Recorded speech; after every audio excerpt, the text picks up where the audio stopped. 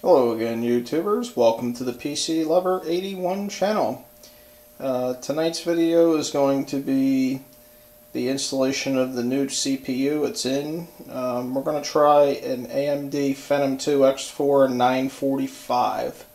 Um, going to do this video in several different little pieces, this way it's not too long. Battery life's getting low on my camera and I have to get out to the store and put new batteries in it.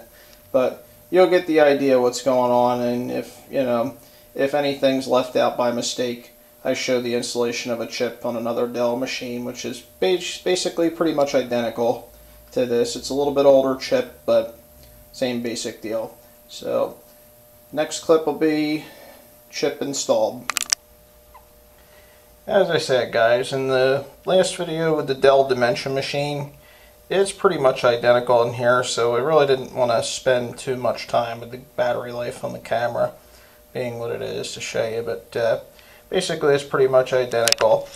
Uh, two screws, one here, one up there. This guy swings open. Uh, lift up the retaining tab to release the chip from the socket, take the old one out, put the new one back in. I did forget to mention in the first part of the video. Uh, this is the 95 watt version of the Phenom 2 X4 945.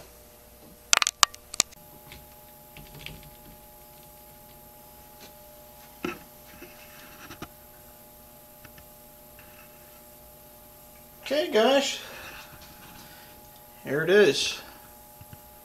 Alright, we have AMD Phenom 2 945 excuse me AMD Phenom 2 X4 945 running at 3000 megahertz. 512k of L1 cache. 2048k of L2 cache. 6 megs of L3 cache. And that is exactly what we want to see. So this project was a success. Um, I have to install Windows on this and buy some hard drives for it and stuff, so uh, that will be coming in the coming weeks. And uh, I promise more videos on that, but uh, again, just a quick processor upgrade. So we went from an Athlon 2 to a Phenom 2 X4 945. Uh, we'll see much better performance with this thing. Thank you for watching and there will be more update videos to come for this machine as the parts come in. Thanks again for watching.